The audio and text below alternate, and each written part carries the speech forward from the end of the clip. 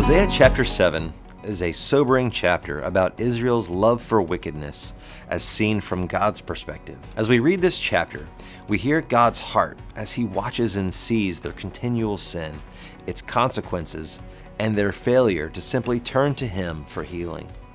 God was willing to heal them from their sins and its effects, but they acted as if God did not see it. They had to treat God as he really is, a God who sees and remembers unrepentant, uncovered sin. Israel continued to try everything they could imagine to find satisfaction. The end of the chapter, verse 16 reads, They look everywhere except to the Most High. They are as useless as a crooked bow. Their leaders will be killed by their enemies because of their insolence towards me. Then the people of Egypt will laugh at them. We live among millions of people who will put their faith and trust into anything that they think can bring them healing and satisfaction in life. But God is telling us that we ought to turn to Him.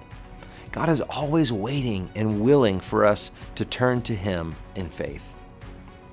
We can imagine the best life on earth, full of wealth and all the things we can desire, but it won't compare to the fullness of life that God has for us in Jesus Christ.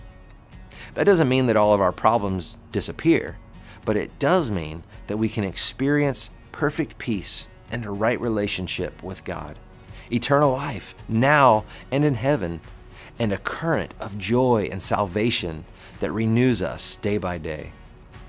But considering this chapter, let's remember what the Apostle Paul wrote in Ephesians chapter 4.